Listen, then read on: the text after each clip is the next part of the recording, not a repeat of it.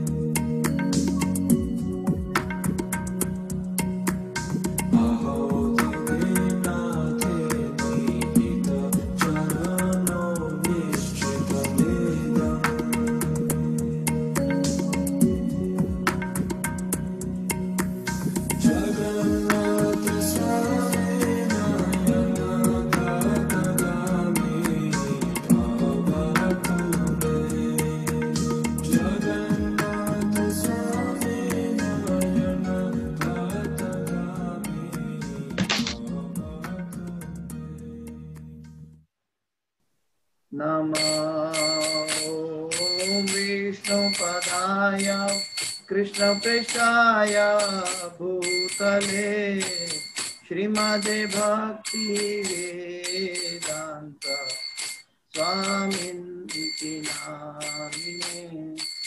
नमस्ते सरस्वती देवे गौरवाणी प्रचारिणे। निर्विशेषा शून्यवादी पाश्चात्यदिशतारिणे। जय श्री कृष्ण चैतन्य प्रभु नित्यानंदा श्री अद्वैता गदाधर शिवासादि गौर भक्त वृंदा जय श्री कृष्ण चैतन्य प्रभु नित्यानंदा श्री अद्वैता गदाधर शिवासादि गौर भक्त वृंदा जय श्री कृष्ण चैतन्य।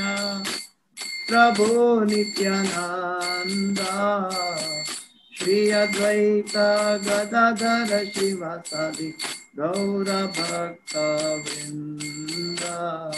भक्त वृंदा हरे कृष्णा हरे कृष्णा कृष्ण कृष्ण हरे हरे हरे राम हरे राम राम राम हरे हरे हरे कृष्णा हरे कृष्णा कृष्ण कृष्ण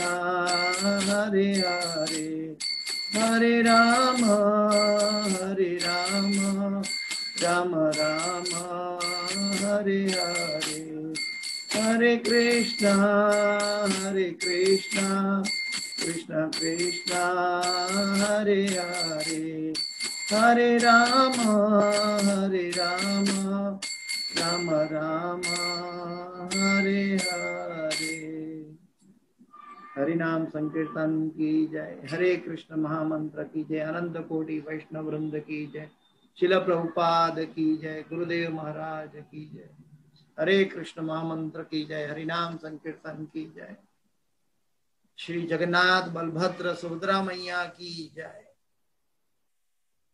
अभी 12 जुलाई को रथ यात्रा का उत्सव आ रहा है। उसके उपलक्ष्य में आज हम कोशिश करेंगे कि हम जगन्नाथ जी की बारे में, जगन्नाथ जी की लीलाओं के बारे में, जगन्नाथ जी के बारे में कुछ बातें करें। और हमारा हृदय का जो भाव है रथ यात्रा के प्रति और जगन्नाथ जी के प्रति जो भाव है तो हमारा भाव और उत्तरोत्तर बढ़ता जाए, हम सबका। तो आज हम रथ यात्रा के ऊपर या तो जगन्नाथ जी बलभद्र जी और सुभद्रा मैया के ऊपर हम चर्चा करेंगे। छोटी छोटी कई लीलाएँ हैं भक्तों के द्वारा इंगित की गई है और वो लीलाएँ मैं पढ़ के आप सबको सुनाना चाहूँगा क्योंकि ये, बहुत रसप्रद है। इसके अंदर बहुत रस है बहुत आनंद है। तो सबसे पहले तो हम शुरू करते हैं भक्ति वेदांत स्वामी शिल प्रभुपाद जी से। भक्ति वेदांत स्वामी शिल प्रभुपाद जी जब बचपन में अपने घर में थे तो उनके पिताजी उनको जगन्नाथ जी बलभद्रा और सुभद्रा मैया का रथ लाकर देते थे।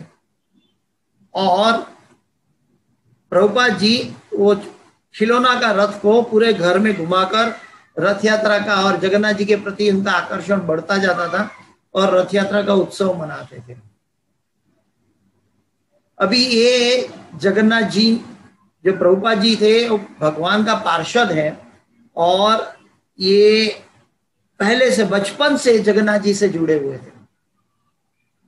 और जगन्नाथ जी की एक ऐसी लीला है कि शायद हम हमारी बाह्य दृष्टि से देखे तो अभी हम देख देख सक देख सकते हैं हम उसका विटनेस है।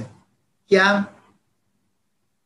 जगन्नाथ जी का मंदिर में जगन्नाथ जी की रथ यात्रा जगन्नाथपुरी में होती है साल में एक बार।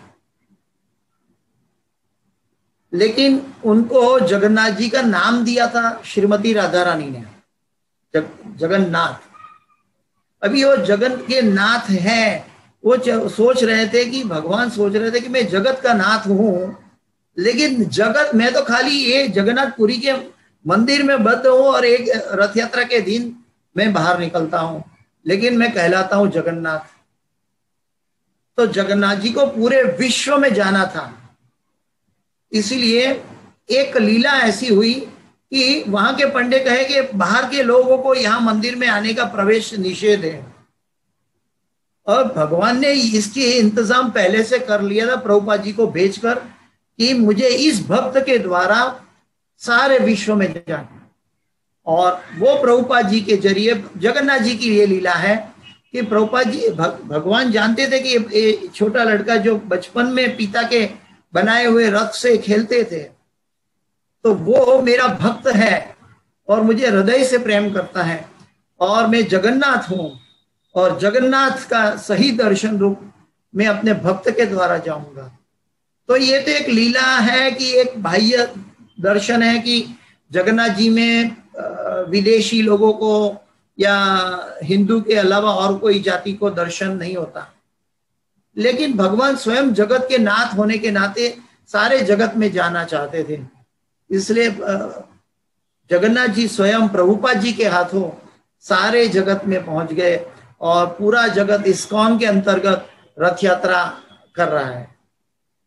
तो ये प्रभुपा जी की अद्भुत लीला है इस जगन्नाथ जी की अद्भुत कृपा है कि हमारे शिल प्रभुपा जी के द्वारा उनकी सेवा स्वीकार की और उनके बनाए गए रास्ते पर आज अनेक भक्त रथ यात्रा का उत्सव हर साल पूरे विश्व में मनाते हैं।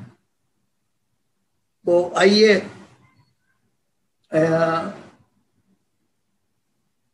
कुछ जो लिखा हुआ है मैं पढ़कर मैं बताना चाहूँगा, बहुत अच्छा है। जब हम बीमार थोड़े से हो जाते हैं तो हम डॉक्टर के पास जाते हैं। लेकिन जब हम ज़्यादा बीमार हो जाते हैं तो डॉक्टर हमारे घर बुलाना पड़ता है। तो ये रथ यात्रा का उत्सव ऐसा है कि भगवान जगन्नाथ हमारे जैसे भवरोगी को दर्शन देने के लिए बाहर आए हैं और सभी को दर्शन देने के लिए रथ यात्रा का उत्सव मना रहे हैं। हम सब जैसे कि देखते हैं कि जगन्नाथ जी की आँखों में पापड़ नहीं है, जो आईलीड बोलते हैं, जो पापड़ है ऊपर का आँख बंद करने का दरवाज़ा। जगन्नाथ जी की आँखों में पापड़ नहीं है। क्यों? क्योंकि जगन्नाथ जी कभी सोते नहीं है। जगन्नाथ जी की आँख गोल है। हमारी आँख से हम दाएँ बाएँ देख सकते हैं। लेकिन जगन्नाथ जी अपनी आँखों से ऊपर और नीचे और चारों तरफ़ एक साथ देख देख सकते हैं। तो वो सभी जगह इसीलिए देखते हैं कि उनका कोई भी भक्त उन आ, उनकी नज़र से बाहर ना हो। उनका दर, भगवान कहते हैं कि शायद कोई भक्त, जैसे गोपी गीत में गोपिया ने भगवान को गालियाँ दी थी, ब्रह्मा जी को गालियाँ दी थी क्षम्यता ब्रह्मा जी को गालियाँ दी कि भाई तुमने आँख बनाने का नहीं आता ब्रह्मा जी को। क्यों? क्योंकि हमारी आँख की पापड़ ऐसे पटकती है, पटपट होती है, और उसमें हम भगवान का वीर अनुभव करते हैं। तो ये वीर का अनुभव भक्त को होता है। लेकिन भगवान चाहते हैं कि भक्त, चाहे वो वीर में, वो क्षण में मेरा प्रेम और गाढ़ बनाए। लेकिन मैं अपने भक्तों को देखे बिना नहीं रहूँगा। मैं तो ब्रह्मा जी से ऊपर हूँ, इसलिए स्वयं ऐसी आँख लेकर आए भगवान कि उनको पटपटाना नहीं जगन्नाथ जी की कोई भी पूजा भक्ति है, वो पंचरात्रि की विधि या कोई भी शास्त्रीय विधि से नहीं होती। है वो ना कोई ब्राह्मणों से भी होती है। वो सबर जाति के लोगों के द्वारा भगवान सेवा स्वीकार कर रहे हैं। और वो भगवान जो अपने भक्तों को प्रेम करते हैं, वो भगवान के बारे में हम अभी आगे देखते हैं। तो जगन्नाथ जी, उनका प्रसाद बहुत फ़ेमस है। तो प्रसाद के बारे में एक कहानी है। शायद आप लोगों को मालूम हो, लेकिन फिर से हम सुनना चाहते हैं, क्योंकि ये जगन्नाथ जी की कृपा है। तो एक बार नारद मुनि कीर्तन करते करते वो वैकुंठ में चले गए। और वैकुंठ जाकर उन्होंने अपनी माँ लक्ष्मी देवी से प्रार्थना की कि मुझे भगवान का उच्चिष्ट मिले।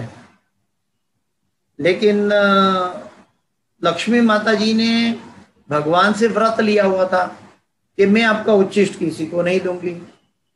और ये व्रत लेने के बहाने वो स्वयं नाराज़ थी और नारद मुनि अपना पुत्र भगवान का उच्चिष्ट मांग रहे थे। तो नारद मुनि लक्ष्मी देवी थोड़ी नाराज़ हो गई कि मैं क्या करूँ? तो उन्होंने भगवान से ये बातें कही। तो भगवान ने कहा इनडायरेक्टली एक बात बताई कि मैं जब दाए दाइने बाइने देखता हूँ, मेरी नज़र प्रसाद के ऊपर नहीं है, तब आप लेकर नारद मुनि को कुछ प्रसाद दे सकती हो।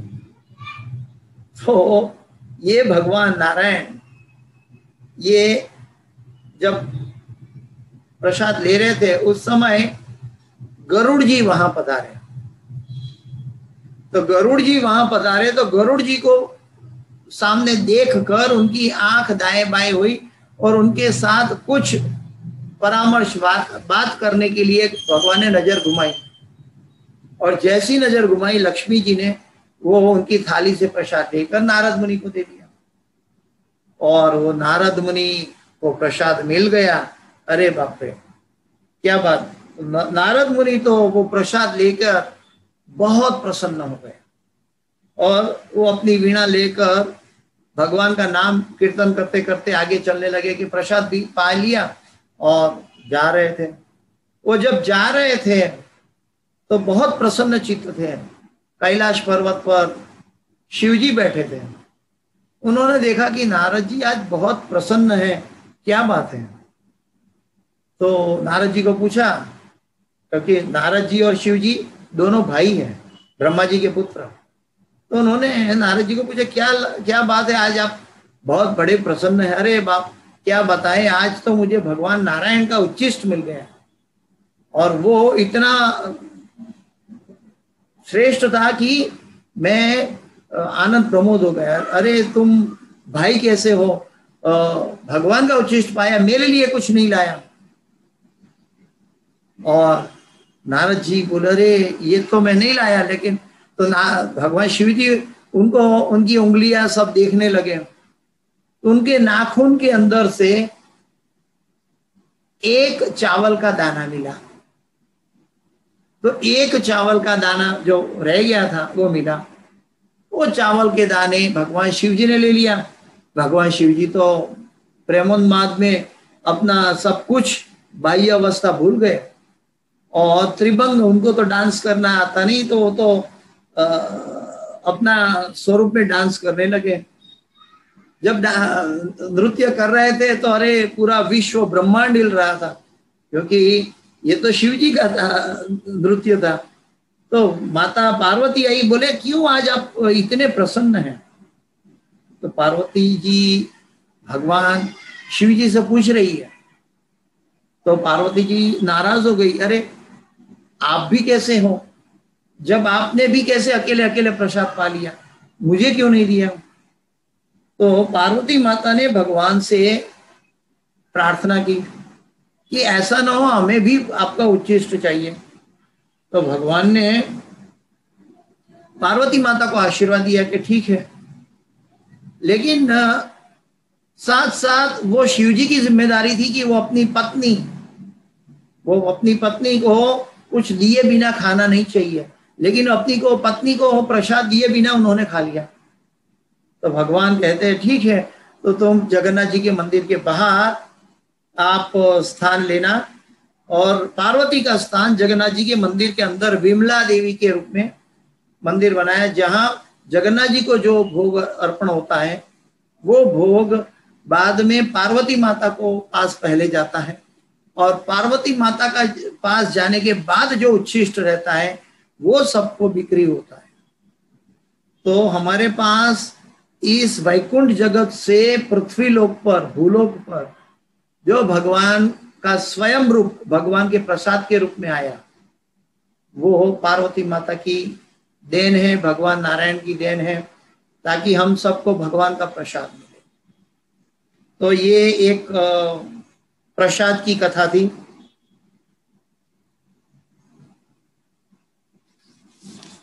आगे कहते हैं, गर्वगंजन की कुछ लीलाएँ हैं। भगवान हमारा अहंकार नहीं रखते हैं। तो गर्वगंजन की लीला है। एक बड़ा पैसे वाला शेठ था, उस जमाने में की बात है। तो उन्होंने उस जमाने में एक लाख रुपया या कई पैसा उनको भगवान के मंदिर में दान दिया। लेकिन उनकी एक शर्त थी। क्या शर्त थी? कि ये एक लाख रुपया भगवान के मंदिर में एक ही दिन में भगवान के लिए उपयोग करना चाहिए। अभी उस जमाने में एक लाख रुपया तो बहुत होता था। और एक लाख रुपये का सेवा एक ही दिन में कैसे होगा? तो भगवान के भक्त पुजारी ने ये भगवान से प्रार्थना की कि ये कैसे हो सकता है? तो उन्होंने, भगवान ने उनको सौंपने में आदेश दिया कि उस शेठ को कहो कि वो एक ऐसा हाथी ढूंढ कर लाए जिनके मस्तिष्क में मणि हो। और वो मणि पान के अंदर वो मणि का चूर्ण डाले और वो पान मुझे अर्पण करें। अभी लाखों, हज़ारों, लाखों हाथियों में कोई एक हाथी में मणि होता है और हाथी की कीमत तो बहुत होती है। और वो शेठ को समझ समझ में आ गया कि मेरा एक लाख रुपया कुछ काम का नहीं, क्योंकि इतने हज़ारों, लाखों हाथी को में से मैं मणि ढूंढ कर उसका चूर्ण बनाकर, भगवान को पान के अंदर कैसे कर सकता हूँ। तो भगवान जो है, हमारे भाव ग्रहण करते साथ साथ हमें शुद्ध करते हैं और ये शेठ जो था, उनका गर्व का भी भंजन किया। एक बार सुदर्शन जी को अहंकार आ गया कि भगवान का भक्त तो मैं हूँ, भगवान की दाएँ हाथ की उंगली पर सुदर्शन चक्र के रूप में मैं हमेशा भगवान के साथ रहता हूँ। मेरे से बड़ा भक्त कौन हो? हो सकता है। तो उन, उनको लगा कि सभी सभी का प्रोटेक्शन तो मैं ही कर रहा हूँ। सुदर्शन सुदर्शन को थोड़ा अहंकार हुआ कि सभी का प्रोटेक्शन तो मैं करता हूँ। तो भगवान समझ गए कि सुदर्शन के मन में कुछ अहंकार आया है। तो उन्होंने कहा कि मेरे भक्त को बुलाओ। भगवान ने कहा मेरे भक्त को बुलाओ हनुमान जी को बुलाया अभी हनुमान जी को बुलाया तो जगन्नाथपुरी में चारों दिशा में चार दरवाजे हैं। सभी दरवाजे सुदर्शन चक्र ने बंद कर दिया अंदर से। अभी भगवान ने हनुमान जी को बुलाया था, हनुमान जी दरवाजे के बाहर खड़े हैं और देख रहे हैं कि मैं कैसे भगवान ने बुलाया और अंदर नहीं जा सकता हूँ। तो हनुमान जी ने भगवान को प्रार्थना की। जब हनुमान जी भगवान को प्रार्थना की तो भगवान ने हनुमान जी को और छह हाथ दे दिया। छह हाथ हनुमान जी के पास दो हाथ थे। तो हनुमान जी के पास आठ हाथ हो गए। अभी वो आठ हाथ से चारों दरवाजे से सुदर्शन जी को रोककर, दो हाथ से ताली बजाकर, और दो हाथ भगवान की सेवा में लगाकर उन्होंने प्रवेश किया। जब ये प्रवेश हुआ तो सुदर्शन को लगा कि मेरे से भी बड़ा कोई भक्त है और भगवान की सेवा में जुड़ सकता है। उनको अपने आप गिल्टी फील किया। और क्योंकि ये उन्होंने भक्त का अपराध किया था, सुदर्शन जी ने, हनुमान जी का अपराध किया था, भगवान को अच्छा नहीं लगा। तो भगवान ने कहा कि आज तक तू मेरी दाई हाथों की उंगलों में था। अब से तुम बाई हाथ में एक लकड़ी के स्वरूप में तुम मेरे साथ रहेगा। तो भगवान ने बाई हाथ में जगन्नाथ जी को साइड में लकड़ी के रूप में सुदर्शन को स्थापित किया। लेकिन सुदर्शन जी भी भक्त हैं तो उनको अपनी गलती का एहसास हुआ। और एहसास हुआ और भगवान से माफ़ी मांगी। भगवान से जब माफ़ी मांगी तो भगवान ने उनको आशीर्वाद दिया, ठीक है, तुम मेरे मंदिर के ऊपर घुम्मट के ऊपर सुदर्शन चक्र जो स्थापित होगा, जब भी मंदिर में कोई नहीं आ सकता है और कोई व्यक्ति बाहर है, जब मंदिर बंद हो या बाहर हो, कोई भी वजह से जो व्यक्ति मंदिर में नहीं आ पाया, वो मेरे मंदिर के ऊपर सुदर्शन चक्र का दर्शन करेगा तो वो वो मेरे दर्शन के बराबर होगा। तो ये सेवा भगवान ने भगवान ने सुदर्शन को दिया। तो ऐसे सुदर्शन का भी मान गर्व भंजन किया, वो, शेठ का भी गर्व भंजन किया।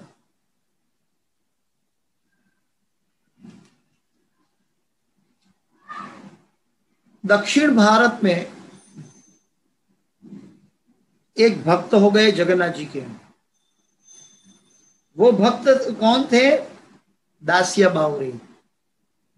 दासिया बावरी के बारे में हमने काफ़ी कहानी सुनी है। वो लोअर कास्ट के थे और लोअर लोअर कास्ट के होने के नाते उनको मंदिर में प्रवेश वर्जित था। लेकिन उनको भगवान की आँख, भगवान के दर्शन की आँख का दर्शन सर्वत्र दिखाई देता था। योमा पश्यति सर्वत्र सर्वत्र मई पश्यति।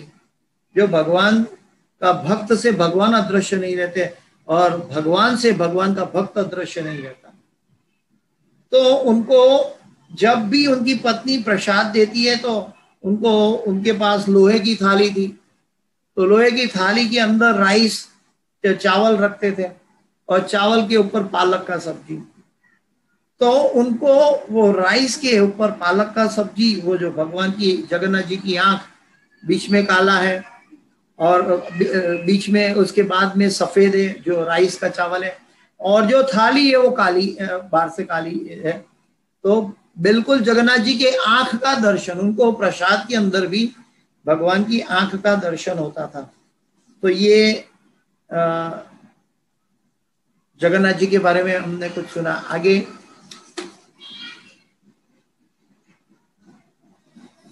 जगन्नाथ जी कैसे जगन्नाथ जी बने? उसके बारे में दो तीन कहानियाँ हैं। पहली कहानी तो हम जानते हैं कि नारद मुनि की इच्छा थी। क्या? कि जब माता रोहिणी सभी भगवान की पटरानियों को द्वारका में, भगवान के बारे में बता रही थी, व्रजलीला के बारे में बता रही थी। सबको मालूम होगा शायद कि जब द्वारका में भगवान सोते थे तो नींद में भी राधा राधा राधा कहते थे। ये कोई काल्पनिक नहीं है। जो काल्पनिक है, वो भक्त नहीं है, जो ऐसा मानते हैं। श्रीमती राधा रानी भगवान से अभिन्न है। और भगवान नींद में भी राधा राधा राधा कहते थे। वो भगवान सभी सोलह हज़ार एक सौ आठ पटरानियाँ देख रही है कि ये राधा कौन है? कि जिनका भगवान के हृदय से उनका नाम छूटता नहीं।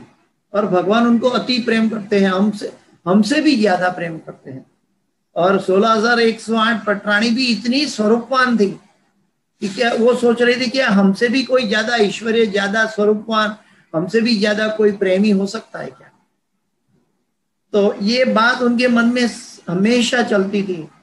तो एक बार द्वारका में रोहिणी माता जी जो हो, भगवान की व्रजलीला में उपस्थित थी तो रोहिणी माता से पूछ पूछने लगी कि भगवान की व्रज लीला और राधा रानी की लीलाओं के बारे में हमें बताइए।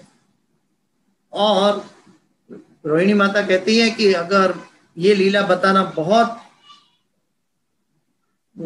डर लगता है, क्योंकि भगवान ने कहा था कि ये लीला किसी को नहीं बताए। तो रोहिणी माता जब कहती है, ठीक है, आज दाऊ और कन्हैया जो है, बाहर गए हैं। तो आज सब पटराणी को अंदर बिठा के रोहिणी माता भगवान की ब्रज लीला कह रही है। और सुभद्रा जी को कहा कि तुम दरवाजे पे खड़ी रहो, अगर जब कृष्ण बलराम वापस आते हैं तो मुझे बता देना, मैं रुक जाऊँगी। और ये लीला जब हुई तो रोहिणी माता पटरानियों को ये लीला कह रही है, और भगवान कृष्ण और बलराम भी बीच में आ गए हैं, और सुभद्रा माता जी तो स्टंट हो गई है, और सुनने में इतनी स्टंट हो रही है कि आगे पीछे क्या हो रहा है उनको कुछ नहीं दिखाई देता। उनका अंग भी अपने आप में हाथ, पैर अपने शरीर में छुप गए हैं, सुभद्रा जी के।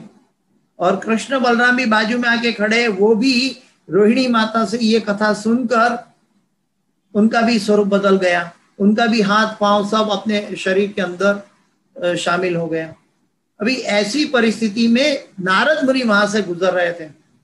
और जैसे कुछ क्षण के बाद तुरंत भगवान ने ये रूप चेंज कर दिया, लेकिन नारद मुनि कहते हैं कि आप इस पृथ्वी पर ऐसे रूप का दर्शन कब दोगे? तब उन्होंने इच्छा प्रकट की, भक्त की इच्छा भगवान पूरी करते हैं।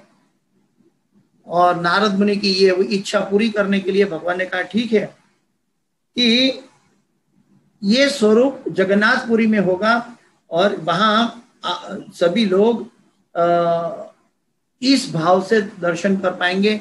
कि जैसे जो आपने दर्शन किया है मेरा।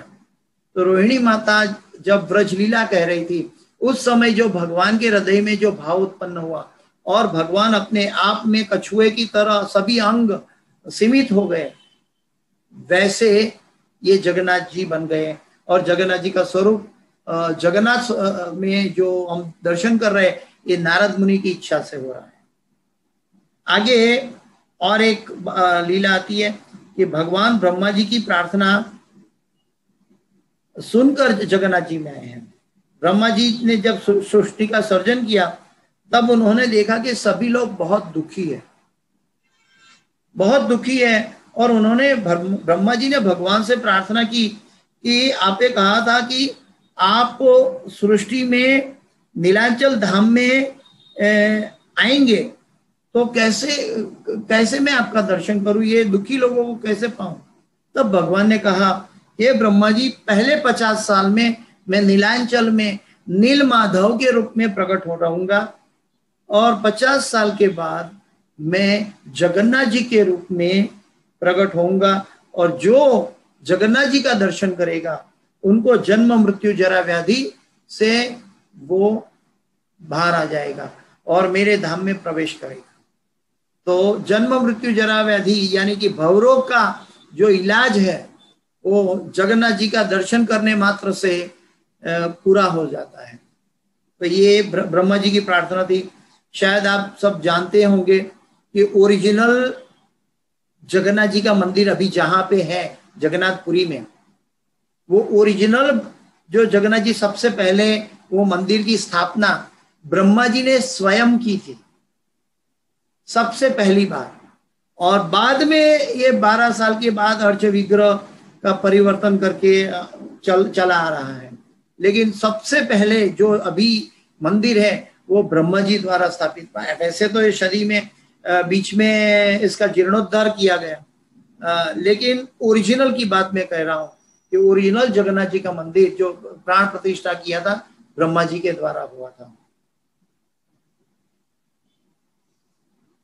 और एक कथा है कि भगवान पार्वती देवी की प्रार्थना से जगन्नाथ जी का रूप ले लिया। तो वो हम अभी पहले सुन चुके कि कैसे भगवान ने उच्चिष्ट इस जगत में देने के लिए स्वीकार किया। तो जब पार्वती माता ने ये प्रार्थना की कि इस जगत के जीवों को आपका उच्चिष्ट प्रदान हो, इसीलिए जगन्नाथ जी में भगवान को सतत प्रसाद ऑफ़र होता है भोग ऑफ़र होता है। और प्रसाद के रूप में पूरे गाँव के सभी लोग प्रसाद से संतुष्ट रहते हैं। तो ये जगन्नाथ जी की बात है कि पार्वती माता की कृपा से जो हमें उच्चिष्ट प्रसाद तो जगन्नाथ जी का प्रसाद बहुत फ़ेमस है। तो वो प्रसाद देने के लिए भगवान ने जगन्नाथ जी का रूप धारण किया। आगे हैं। हम शायद जगन्नाथ जी का दर्शन मिस कर कर ले, शायद, हमारी पापण की वजह से। लेकिन जगन्नाथ जी की आँख ऐसी है कि वो कभी हम, हमसे देखे बिना रहेंगे नहीं। हम सब, क्या बोलते हैं कि जैसे आजकल कोई मार्केट में जाता है तो यहाँ पे बाहर लिखा होता है कि you are under CCTV surveillance आप सीसीटीवी की निगरानी में हो। हम कहीं भी जाते हैं, मार्केट में जाते हैं, रोड पे तो आप सीसीटीवी के निगरानी में है, ऐसा लिखा जाता है। लेकिन हम सबको ये भी याद रहना चाहिए कि हमारा एक एक सांस, हमारा एक एक क्षण जगन्नाथ जी की निगरानी में हो रहा है। और जो जगन्नाथ जी का अस्तित्व, जो जगन्नाथ जी को महसूस करता है, जो जगन्नाथ जी का दर्शन सभी जगह करता है, यो माँ पश्यति सर्वत्र सर्वोत्तम मई पश्यति। जो जगन्नाथ जी का, उसके लिए जगन्नाथ जी कभी अदृश्य नहीं होते। तो अभी इंद्रधुम्न महाराज की बात आती है कि जब ये मंदिर बनाया गया इंद्रधुम्न महाराज कहते हैं कि उन्होंने तीन आशीर्वाद मांगे थे। इन्होंने इंद्रधुम्न महाराज ने तीन आशीर्वाद भगवान से मांगे थे। उन्होंने कहा कि मुझे कोई पुत्र न देना। मुझे ऐसा मेरी डायनेस्टी का पुत्र न देना। पुत्र देंगे तो ये वारसदार का हक जताएगा और ये हक वारसदार के हिसाब से करेगा तो वो गलत होगा। इसलिए वो पोता खुद की जात को क्लेम करेगा, इसलिए मुझे पुत्र मत देना। दूसरा उन्होंने मांगा था कि प्रभु आप सतत भोग लेते रहना। भोग लेते रहना और आपका हाथ सूखने से पहले फिर से दूसरा भोग ग्रहण करना चालू रखना। आपका हाथ भगवान का, जो भोग है, वो खाते रहने से सूखना नहीं चाहिए। इसलिए जगन्नाथ जी के मंदिर में आठों प्रहर में सभी प्रहर में भगवान को भोग, छप्पन भोग अर्पण किया जाता है, ताकि भगवान सतत भगवान भोग लेते रहे। तीसरा, उन्होंने इंद्रदम्न महाराज ने कहा था, भगवान से आशीर्वाद मांगा था कि आप कभी सोओगे नहीं। आप कभी सोओगे नहीं क्योंकि दुनिया के लोग बहुत दुखी है। और जो भी आपके दर्शन के लिए आए, उनको तुरंत आप दर्शन दोगे, इसलिए आप कभी सोओगे नहीं। तो भगवान का जो दर्शन है, कभी रात को मंदिर बंद नहीं होता और भगवान कभी सोते नहीं है जगन्नाथ जी। और रात को ऐसा कहा गया कि देवगण, देवतागण स्वर्ग लोक से आते हैं और भगवान का दर्शन करते हैं। जब इस पृथ्वी लोक में रात हो जाती है, तब वो देवतागण को, वो मंदिर समर्पित हो जाता है और वो जो आठ प्रहर वाला छप्पन भोग जो है, वो रात को जब भगवान के सामने रख दिया है तो वो सुबह पाया नहीं जाता। है बाकी भगवान का जो भोग है, भगवान को अर्पण करने के बाद प्रसाद के रूप में वापस मिलता है। लेकिन रात को जो भगवान को भोग अर्पण किया जाता है, वो प्रसाद के रूप में बाद नहीं आता है। क्यों? क्योंकि स्वर्ग के देवी देवता लोग हैं, वो प्रसाद पाते हैं। आगे और एक बात आती है एक भक्त की। विश्वनाथ नाम का एक भक्त था। सन 1890 में। सन 1890 में विश्वनाथ नाम का एक भक्त था वो भगवान का मेकअप करता था भगवान का पुजारी था। और उन्होंने गलती से या कोई भी इच्छा से एक बार उन्होंने जगन्नाथ जी के भंडार से कुछ आभूषण चोरी कर लिया। अभी चो, आभूषण चोरी कर लिया तो वो सोच रहे थे कि किसी को पता नहीं है। लेकिन हम सब जानते हैं कि जगन्नाथ जी के मंदिर में, उसके बेसमेंट में सभी आभूषण रहते हैं और कीमती जवेरात सब रहता है। और भगवान के पुजारी के अलावा वहाँ कोई जाएगा तो वहाँ क्या बोलते हैं कि जो नागराज है, वो नागराज उनकी सिक्योरिटी करते हैं। कोई भी वो ले नहीं सकता वहाँ से। जब ये पुजारी ने ले लिया तो दूसरे दिन अपने घर में मरा हुआ पाया। और फिर थोड़ी देर के बाद देखा तो एक के बाद, एक के बाद, एक के बाद उसके घर के सभी परिवारजन मृत्यु को हो गया, मृत्यु हो गया। ताकि ये कथा है कि आभूषण भंडार की सिक्योरिटी लोकनाथ महादेव के हाथ में है और महादेव नाग नाग देवता के साथ रहते हैं। और जो रत्न चोरी का प्रयत्न करता है तो नाग देवता उनको सजा करते हैं। दासिया बौरी की, हमने अभी दक्षिण भारत की दासिया बौरी की बात बीच में सुनी। और एक बात है, दासिया बौरी की बहुत रसप्रद है। 1900 सन 1902 के बात है। उस समय एक, ये गरीब भक्त था और उन्होंने बड़ी मेहनत से, क्योंकि वो बहुत गरीब था तो बड़ी मेहनत से पैसा इकट्ठा करके एक श्रीफल, एक कोकोनट खरीदा। और उनका एक मित्र वहाँ साउथ इंडिया से मतलब केरला की और की बात है, वहाँ से जगन्नाथपुरी जा रहा था। तो अपने बिज़नेस के कारोबार से। तो उन्होंने दौड़ के उनके पास जाके बोला कि आप कृपा करके मेरा ये श्रीफल है, ये जो कोकोनट है, ये कोकोनट कृपा करके आप जगन्नाथ जी के मंदिर में अर्पण कर देना, मेरी तरफ़ से। तो उन्होंने कहा कि मुझे तो बिज़नेस का सारा काम काज है, मैं तो बिज़ी रहूँगा तो मैं, मुझे ये काम नहीं हो पाएगा। तो उन्होंने कहा, कोई बात नहीं, आप मंदिर के ऊपर सुदर्शन चक्र दिखाई देंगे। तो आप जहाँ है वहाँ से वो सुदर्शन चक्र को ये श्रीफल नारियल ऑफ़र कर देना।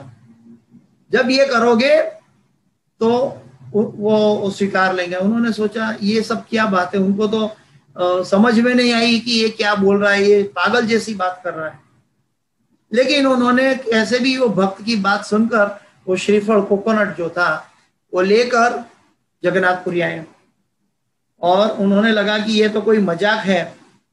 उन्होंने बिज़नेस अपना बिज़नेस का काम पूरा होने के बाद वो गरुड़ स्तंभ के पास जाकर बोले कि ये ये कोकोनट है प्रभु, ये दास्य बाउरी ने भेजा है और आप इसको स्वीकार कर दीजिए। और तुरंत ही भगवान का अल्टार से हाथ लंबा हो गया। हाथ लंबा हो गया और भगवान ने स्वयं वो कोकोनट अपने हाथों ले लिया। और ये देखकर उसका जो मित्र था, जो लेकर गया था, वो अनकॉन्शियस हो गया, बेभान हो गया। ये क्या? मैं तो मज़ाक समझ रहा था, लेकिन भगवान ने ये कोकोनट अपने हाथों स्वीकार कर लिया। तो ये दास्य बौरी का भगवान के जो भक्त है उनके साथ भगवान का रिश्ता ऐसा अलौकिक है, ऐसा अचिंत्य है। हाँ कि वो हम, हमारी बुद्धि से भौतिक जगत की जड़ बुद्धि से हम समझ नहीं पाते हैं। प्रेमांजन चुरित भक्ति विलोचन न। संत सदैव हृदयेशु विलोकयन्ति।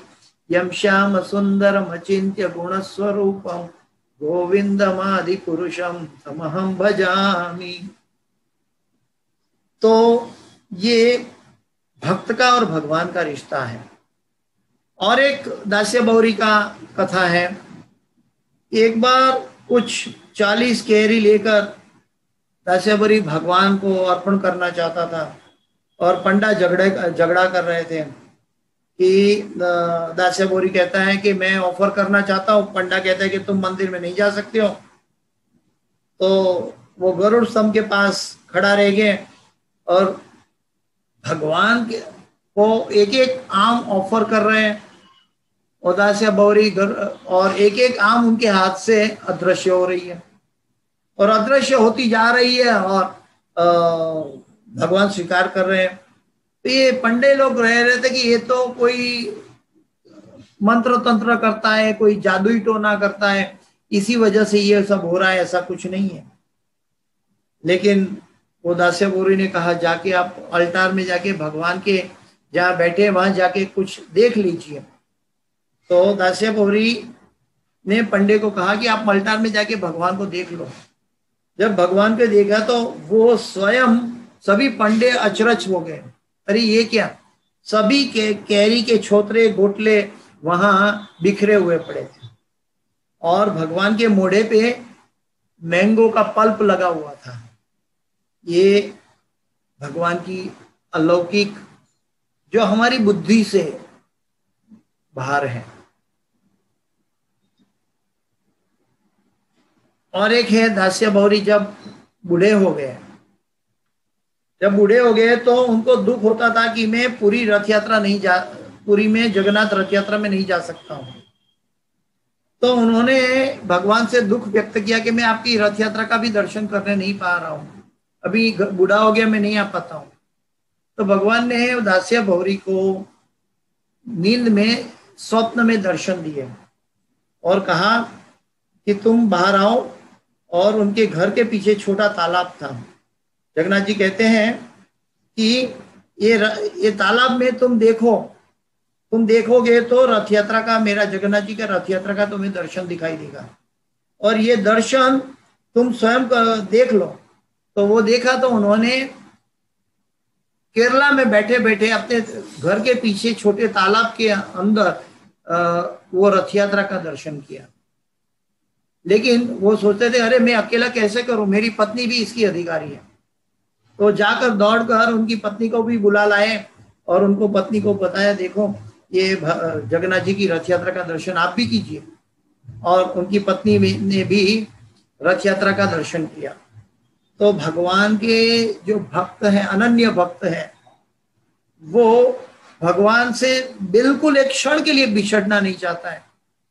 और हमारे जैसे पापी लोग इस कलयुग में हम आए हैं ये तो गुरु की कृपा से कुछ बातें करते भगवान के बारे में या जा, जाप कर लेते हैं गुरु की कृपा से।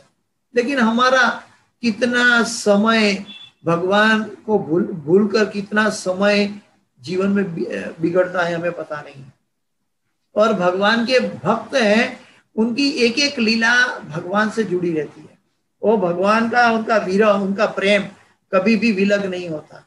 चाहे वो वीर में हो, चाहे वो सेवा में हो, चाहे वो उनकी कोई भी कार्यकलाप में हो या अपने भौतिक कार्यकलापों में भी रहकर भी वो भगवान का भक्त भगवान की सेवा कर लेता है। आगे एक कहानी है कालीचा महापत्र की। कालीचा महापात्र जगन्नाथ जी का एक पुजारी था। उनकी एक इच्छा हुई कि भगवान श्री कृष्ण के बाल तो बड़े घुमराले थे बचपन में, यशोदा मैया के पास। लेकिन यहाँ जगन्नाथ जी की ऊपर तो बाल ही नहीं है। तो उनको मैं कैसे सजाऊं? मैं तो पुजारी हूँ जगन्नाथ जी का। लेकिन यशोदा मैया जब कन्हैया को तैयार करती थी तो उनको घुंघरेले बाल थे, वाकड़िया बाल थे। लेकिन यहाँ तो जगन्नाथ जी के बाल नहीं है। तो मैं कैसे उनका श्रृंगार करूँ? तो भक्त सोच रहा है कि मैं भगवान को कैसे ऐसे बा, बालों से सजाऊं। ऐसे विचार करते थे तभी जगन्नाथ जी के अंदर से घुंघराले बाल निकले और उनके अंदर से वो बाल का दर्शन हुआ और वो पुजारी ने वो जगन्नाथ जी का आ, क्या बोलते हैं श्रृंगार किया। और फिर सेवा किया यशोदा मैया की तरह। आगे और एक बात आता है वो इतने खुश थे कि भगवान का स्वरूप का दर्शन करके आ, हाँ क्षमता हाँ। तो दर्शन किया हाँ। उसके बाद में क्या हुआ कि आ, एक बार क्या हुआ कि वहाँ के राजा उनको ये बाल सजाया था भगवान का और फिर पुजारी ने भगवान को हार पहनाया था। और वहाँ की प्रथा थी कि वो राजा वो वो हार जो है भगवान को चढ़ाए हुआ हार वो हार राजा को पहना पहनाना है। लेकिन जब रा, राजा को हार पहनाने गए तो उसके अंदर एक बाल था। तो बाल था तो भग, राजा को सोचा कि ये पुजारी ने कोई स्त्री को दिया होगा और फिर मुझे दिया है। इसलिए उन्होंने पुजारी से पूछा कि जगन्नाथ जी का तो बाल नहीं था लेकिन ये बाल कैसे आ गया? बाल कहाँ से आया? अगर तुम ये इसके बारे में नहीं बताओगे तो मैं तुझ तुम्हें सजा करूँगा। अभी जगन्नाथ जी का बाल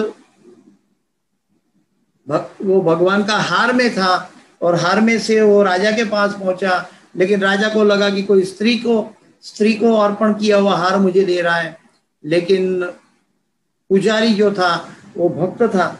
उन्होंने भगवान को प्रार्थना की, उन्होंने कहा, अगर तुम गलत बोलोगे तो ये मैं तुम्हें सजा दूँगा, बड़ी कड़ी सजा दूँगा, शायद तुम्हें मैं फांसी दे दूँगा। तो वो पुजारी तो डर गया और भगवान को प्रार्थना करने लगे, प्रभु ये लीला तो आपकी जाने, आप ही जाने और आप उसको कैसे समझाओगे? और दूसरे दिन राजा कहते हैं कि वो पुजारी कहता है कि ये तो जगन्नाथ जी का बाल है तो राजा मानते नहीं है। तो फिर दूसरे दिन बुलाते हैं कि आप भगवान के मंदिर में आके भगवान का दर्शन करो। और जब राजा स्वयं आके जगन्नाथ जी का दर्शन करने गए तो भगवान के ऊपर बाल थे। तो बाल थे तो उन्होंने कहा कि शायद ये तो एक गलत वीक पहनाई होगी जगन्नाथ जी को। तो उन्होंने अपने सर से बाल खींचा, राजा ने। जब खींचा तो उसमें से खून बाहर आ गया। तब भगवान राजा को अपनी गलती का एहसास हुआ और पुजारी को आशीर्वाद दिया और पुजारी से माफ़ी मांगी। तो ये भी एक कथा है।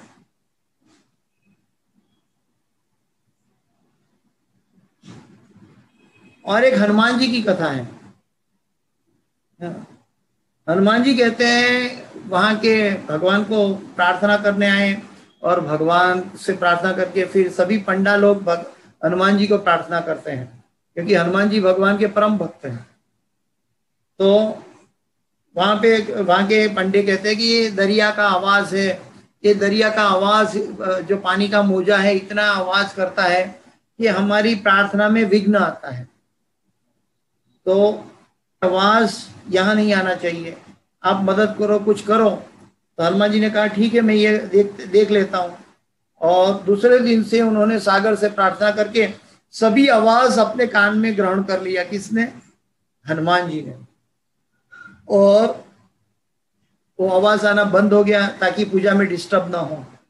और सभी आवाज़, जो दरिया के पानी का आवाज़ था, वो हनुमान जी ने अपने कान में लपेट लिया। कान में लपेट लिया इसलिए वहाँ जो हनुमान जी है वो हनुमान जी का नाम है कान फोड़ा हनुमान जी कान फोड़ा हनुमान जी तो वो एक है। और एक हनुमान जी की कथा है बहुत सुंदर है। हनुमान जी को कहा कि बस आ, एक तकलीफ़ और है। जब बा, बारहवीं सदी की पहले की बात है आज तो इक्कीसवीं सदी अभी चल चल चलनी शुरू हो गई। बारहवीं सदी की बात है। तो पंडा लोग ने हनुमान जी को कहा कि ये दरिया की भर्ती आती है पूनम के दिन तो ये पानी मंदिर के अंदर आ जाता है। इतनी भर्ती आती है।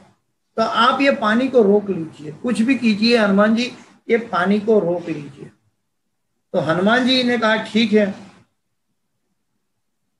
कि पहले तो पुजारी ने भगवान से कहा ये पानी को रोक लो। तो भगवान कहते हैं कि मैं अपने ससुर को कैसे रोक सकता हूँ? ससुर यानी कि दरिया लाल जो है, दरिया, ये भगवान, जगन्नाथ जी के ससुर है। और दरिया लाल दरिया की पुत्री लक्ष्मी जी है, वो भगवान की अर्धांगिनी है।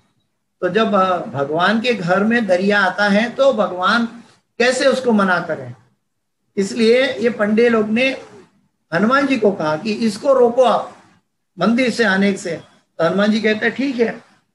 तो उन्होंने कहा कि अभी आज से दरिया का पानी अंदर नहीं आएगा।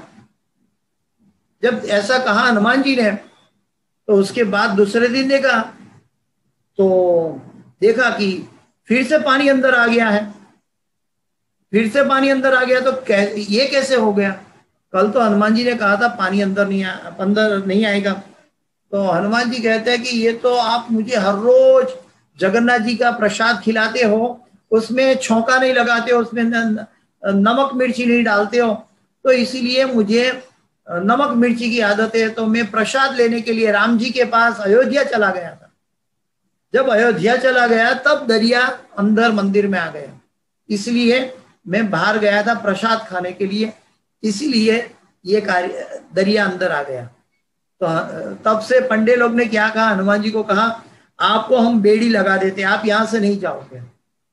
और यहाँ से आप जा नहीं सकते अभी प्रसाद के लिए। आपके लिए अयोध्या जैसा हम प्रसाद यही बनाएँगे, लेकिन आप यहाँ छोड़कर नहीं जाओगे ताकि दरिया मंदिर में प्रवेश न करें। और तब से वो हनुमान जी का नाम है बेड़ी हनुमान। हनुमान जी को बेड़ी लगा दी है। तो ये सभी कथा जो है, बहुत दिव्य कथाओं में से हैं। भगवान की अलग अलग भक्तों के साथ अलग अलग लीलाएँ हुई हैं। जगन्नाथ जी आज भी हर रोज लीला कर रहे हैं। और अभी और लीलाएँ काफ़ी बाकी है, लेकिन अभी समय की पाबंदी है, पूरा होने जा रहा है। तो मैं एक गुरु महाराज के साथ जो लीला हुई राजापुर में, वो लीला के साथ मैं जगन्नाथ जी की लीलाओं को विराम दूँगा कि पहले ये मंदिर जो थे जगन्नाथ जी के नवद्वीप धाम मायापुर में जो राजापुर है, वो राजापुर के जो जगन्नाथ जी है, वो जगन्नाथ जी ओरिजिनल जगन्नाथपुरी में जो जगन्नाथ जी उससे अभिन्न है। मतलब वही जगन्नाथ जी राजापुर में है। अभी क्या हुआ कि पहले वो मंदिर कई सन्यासी महाराजों की संयुक्त कमिटी में के द्वारा चलाया जा रहा था राजापुर का जगन्नाथ जी का मंदिर। लेकिन वो सब बूढ़े होने लगे तो उन्होंने सोचा ये मंदिर हम अभी इस्कॉन को, अंतरराष्ट्रीय कृष्ण भावना अमृत संघ को ये मंदिर अर्पण करें ताकि वहाँ के भक्त भगवान की सेवा करते रहेंगे। तो उन्होंने ऑफिशियल डॉक्यूमेंट बनाया और ऑफिशियल डॉक्यूमेंट बना के जो इस्कॉन को हैंड ओवर करने का था। तो उसमें कुछ साधु महाराज ने साइन कर दी थी, लेकिन कुछ महाराजों ने साइन नहीं की थी। तो कुछ महाराजों ने साइन नहीं थी नहीं की थी लेकिन भगवान के भक्त ऐसे प्रेम करते हैं भगवान से। जब ये प्रोसेस चल रही थी कि कुछ स्वामी ने साइन कर ली है इसको हमको हैंड ओवर करने के मंदिर और कुछ स्वामियों ने साइन नहीं की है। उसके बीच भगवान के भक्त इतने आ, सेवा में तत्पर होते हैं कि उन्होंने देखा कि चलो ठीक है तब तक तो हम मायापुर से भगवान राधा माधव का जब भोग अर्पण होता है आ, तो उन्होंने सोचा कि हम जगन्नाथ जी को भी भोग अर्पण करेंगे। तो मायापुर से भोग लाकर जगन्नाथ जी को देने लगे और जगन्नाथ जी को भोग अर्पण करना शुरू हो गया अभी भोग अर्पण करना शुरू हो गया तब ये बात गुरु महाराज को पता नहीं थी कि हमारे भक्त, इस्कॉन के भक्त आकर मायापुर से लाकर यहाँ पे भोग अर्पण कर रहे हैं और भगवान को चढ़ाना शुरू कर दिया। गुरु महाराज चाहते थे कि जब मंदिर इस्कॉन को सौंप दिया जाए, तब पूरी सेवा ठीक से होगी। अभी बीच में हम, उनकी सेवा के बीच में हम सेवा नहीं कर सकते इसलिए हम जब वो ऑफिशियल देंगे सर हृदय देंगे इस्कॉन को, तब हम सेवा करेंगे। तो गुरु महाराज ने ऐसे ही कह दिया कि हमें जब मंदिर ऑफिशियली मिल जाएगा, लीगली मिल जाएगा, तब हम सेवा करेंगे। गुरु महाराज को पता नहीं था कि भक्त लोग ऑलरेडी सेवा करना चालू कर दिया है। गुरु महाराज को पता नहीं था। तो सभी भक्तों ने ये गुरु महाराज के मुख से सुना तो भक्तों ने सेवा रोक दी। रोक दी तो एक दिन क्या हुआ कि जगन्नाथ जी, बलभद्र, सुभद्रा मैया तीनों चल पड़े और बाहर गार्डन में जा रहे थे। पुजारी ने देखा, अरे, ये तो जा रहे तो उन्होंने पूछा, कहाँ जा रहे अरे हम तो मायापुर चंद्रोदय मंदिर में जा रहे हैं, क्योंकि वहाँ से भगवान का प्रसाद हर रोज आता था, अभी बंद हो गया।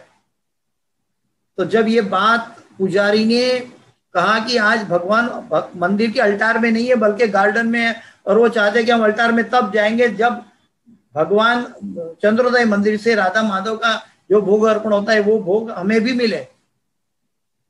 तो वो जब उन्होंने एश्योरेंस दिया तो क्योंकि गुरु महाराज ने रोका था। तो जगन्नाथ जी चाहते थे कि गुरु महाराज ने आकर बोला कि आज से आपको इस्कॉन के मंदिर से प्रसाद रेगुलर मिलेगा। जब ये बताया गया भगवान गुरु महाराज ने भगवान को प्रार्थना की और प्रार्थना करके ये बताया तब भगवान वापस जाकर अल्टार में विराजे और तब से आ, मायापुर से मंदिर से प्रसाद आने लगा। जब मंदिर ऑफिशियल हो गया तब वहीं से वो मायापुर की तरह प्रसाद बनने लगा और भक्त लोग भगवान को भोग अर्पण कर, कर रहे हैं। आज डेली हो रहा है। तो भगवान जगन्नाथ जी कलयुग में जीवों के कल्याण के लिए हमें प्रसाद के रूप में वितरण करने के लिए सतत हमारे पर करुणा बहा रहे हैं। ये जगन्नाथ जी की कहानी है। काफ़ी कहानी और भी है। जगन्नाथ जी की हर एक दिन की कहानी वहाँ के जगन्नाथ मंदिर के जगन्नाथपुरी के मंदिर में लिखी जाती है पुस्तक में। हर रोज की कोई ना कोई भक्त के साथ कोई ना कोई लीला होती है तो उसको पुस्तक में लिखा दिया लि, हर रोज लिखते हैं। कोई दिन की कुछ लीला नहीं होती तो उसमें लिखते हैं कि आज आज की तारीख में कुछ नहीं हुआ। और ये लीला की पुस्तक जो है ज़मीन में गाड़ कर रख रखी गई है और पूनम के दिन उसको बाहर निकाल के सभी लीलाओं का वर्णन लिखा जाता है। फिर वापस उसको ज़मीन में डाल के रख लेते हैं। तो ऐसी जगन्नाथ जी की हरेक लीला बहुत दिव्य है और अलौकिक है। इस लोक की नहीं है, इस बुद्धि की नहीं है, इस मन के चिंतन की, जड़ बुद्धि की, जड़ जगत की नहीं है। लेकिन ये पूर्ण सत्य है। जैसे कि सूर्य हमारे घर में प्रवेश नहीं करता, लेकिन सूर्य का प्रकाश जब आ जाता है तो सूर्य बाहर है। ये पूर्ण सत्य है। ठीक वैसे ही जगन्नाथ जी की जो भी लीलाएँ हैं, वो भक्त के साथ उसका प्रेम का आदान प्रदान है। और चाहे दूसरे लोगों को दिखे या ना दिखे, लेकिन वो अपने आप में पूर्ण सत्य है, क्योंकि भगवान भक्त के पर करुणा करते हैं। तो ऐसे जगन्नाथ जी की रथ यात्रा आ रही है। प्रभुपा जी की कृपा से आज सारे विश्व के लोग रथ यात्रा करते हैं। और जो जो लोग दर्शन नहीं कर पाते विदेशी लोग जो साधु, महात्मा लोग। तो वो लोग भी रथ यात्रा के दिन दर्शन करने आता है, क्योंकि जगन्नाथ जी स्वयं बाहर आकर अपने भक्तों को दर्शन देते हैं। तो ये जगन्नाथ रथ यात्रा है मुझे याद है, मेरा एक गुरु भाई है। तो उन्होंने कहा कि उसका नाम है गोपीजन प्रभु। तो बोलते हैं कि मैं कई बार जगन्नाथपुरी गया, लेकिन मैं जगन्नाथ मंदिर में प्रवेश नहीं करता हूँ। बोलते क्यों नहीं प्रवेश करते हो? मैं बाहर से दर्शन करता हूँ बाहर से परिक्रमा कर लेता हूँ। मैं मंदिर में प्रवेश नहीं करता हूँ। तो बोलते हैं क्यों? बोलते हैं वो जगन्नाथ है वो जगत के नाथ है। जब आ, पूरे दुनिया भर के वैश्विक गुरुओं को वो दर्शन नहीं देते और जो मेरे गुरु को दर्शन नहीं दे पाते तो मैं उसके दर्शन के लिए लायक कहा? अगर वो मेरे गुरु को दर्शन दे तो मैं दर्शन कर पाऊ ना। मेरी कड़ी की जगन्नाथ जी के साथ जो जुड़ी हुई है, मेरे गुरु के ज़रिए है। और गुरु को प्रवेश नहीं है तो मैं कैसे करूँगा? तो ये भाव से वो जगन्नाथपुरी जाते हैं रथ यात्रा में जाते हैं, बाहर से दर्शन करके वापस आते हैं, लेकिन मंदिर में प्रवेश नहीं करते क्योंकि उन्होंने जगन्नाथ जी के साथ एक, क्या बोलते हैं कि एक लड़ाई छेड़ी है कि आप हमारे गुरु को सेवा दें। जैसे एक लीला है जगन्नाथ जी हमेशा सारे विश्व में दर्शन दे रहे हैं, सेवा दे रहे हैं, लेकिन ये भक्त का भाव है। और उस भाव से गुरु को भगवान स्वीकारते भी हैं, और कभी गुरु और शिष्य का रिश्ता ऐसा है भगवान के सामने कि वो प्रेम का रिश्ता है, और भगवान को पाने के लिए गुरु आदेश देते हैं, शिष्य उसका अनु, अनुसरण करता है और फिर भगवान को पाता है। भगवान की कृपा से गुरु मिलते हैं, गुरु की कृपा से भगवान मिलते हैं। तो समय की पाबंदी के अनुसार हम यहाँ पे जगन्नाथ जी की कुछ लीलाएँ की बातें आज समाप्त करते हैं। किसी का कोई प्रश्न है? श्री जगन्नाथ स्वामी की जय। जगन्नाथ बलभद्र सुभद्रा मैया सुदर्शन की जय। हरि बोल गौरंगा। ये जगन्नाथ जी की कृपा है, ये अनेक वैष्णव की कृपा है, और वैष्णव की कृपा के कारण मैं बोल पा रहा हूँ, आप सुन पा रहे तो जो जो प्रभुपाद से लेकर और उनकी पूरी परंपरा से लेकर, और आज ये कथा हमारे कान में आई, हमारे मुख से बोली गई, जो भी जीवगण, जो भी व्यक्ति इसको सुनता है या जिसके द्वारा हमें प्राप्त हुई है। ये सभी भक्त का आशीर्वाद हमें प्राप्त हो, ऐसी हम प्रार्थना करते हैं। क्योंकि हमारे अंदर कोई लायकात नहीं है। मैं बोलता हूँ, एक स्पीकर की तरह मेरे अंदर कोई लायकात नहीं है। लेकिन जो जो भक्तों ने इसमें अनु अनुदान दिया है, सेवा की है, उसमें लिखा है, इकट्ठा किया है सभी लीलाएँ इस सभी भक्तों को और जिसके द्वारा बोला गया है, सभी भक्तों के चरणों में कोटि कोटि वंदन। जगन्नाथ बलभद्र सूत्र मैया उनको शुद्ध भक्ति प्रदान करें और उनके ज़रिए मुझे भी शुद्ध भक्ति प्रदान हो। हरे कृष्ण। अनंत कोटि वैष्णव वृंद की जय। जगन्नाथ बलभद्र सुभद्रा मैया की जय। रथ यात्रा महामहोत्सव की जय। निताय गौर प्रेमानंदे हरि हरि बोल। जय शिल प्रभुपाद की जय। गुरुदेव महाराज की जय।